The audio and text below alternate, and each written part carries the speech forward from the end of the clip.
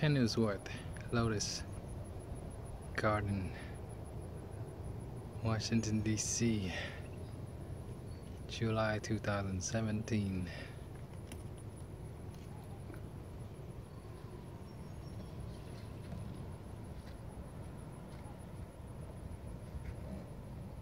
ये बेन की कौन है